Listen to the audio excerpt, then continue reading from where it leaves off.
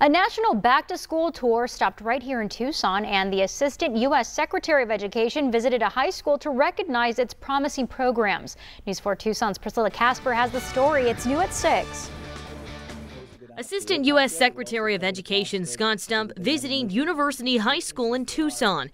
In 2019, the school was ranked in the top 40 high schools nationally. He says during the tour, he was able to see advanced placement classes for areas like chemistry, engineering, and computer science. When we uh, looked at the computer science classroom this morning, which honestly, from my background, trying to create a skilled workforce and knowing that uh, we're about 7 million short of skilled workers to, to meet the needs of this economy, uh, current technical education is important and to see the uh, computer science lab with the robotics competitions going on, with the students uh, uh, solving complex problems using uh, coding, whether it be in Python or Java, and actually being prepared for that next step into joining a workforce that uh, has huge demands across this country. Uh, you are absolutely meeting the needs of uh, today's generation, but then also setting them up absolutely for success in the future. He says now is the time to rethink the best way money can be used for students to have the biggest gain, as well as coming up with more ways to invest in education. His Education Freedom Tour also includes schools in New Mexico, Nevada, and West Virginia.